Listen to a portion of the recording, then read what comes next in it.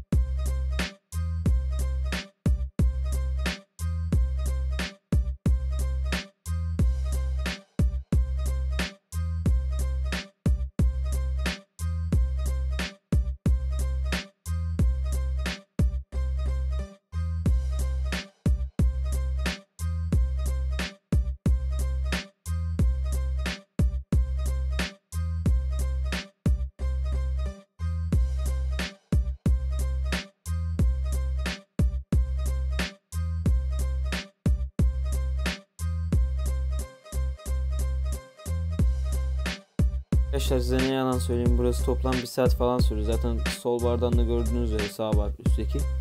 Ben görevi bitirdim sayılır ve şimdi size son dodaları kesip ödülü almayı göstereceğim. Arada normalde böyle gerçekten 50 dakikalık bir zaman var. Onları editledim hatta yarısını böyle direkt sildim attım. Zaten yaptığım şeyler ortada. Dodoları kesiyoruz başka bir şey yok. Bu da son görev artık son dodolar. Bunları da keseceğiz. Görev bitecek ve ödülü göreceksiniz. Ben videoyu kapatıp buradan bitiriyorum. Şimdilik görüşürüz.